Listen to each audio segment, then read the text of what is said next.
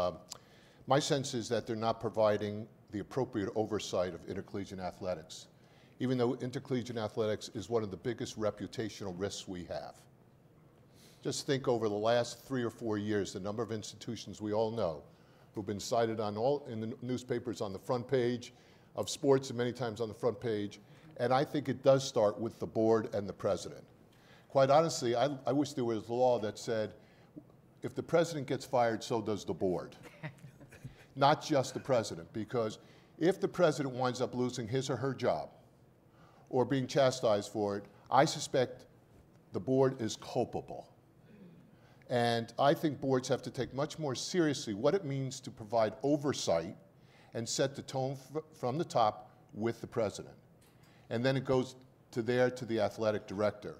So I, I think board governance right now in the United States, especially at public institutions in many cases, but even at private, we have a lot of people on the board who are cheerleaders for athletics, who don't want to get into the thorny issues of athletics because they like it, they love it, they're donors to it, they go to the games.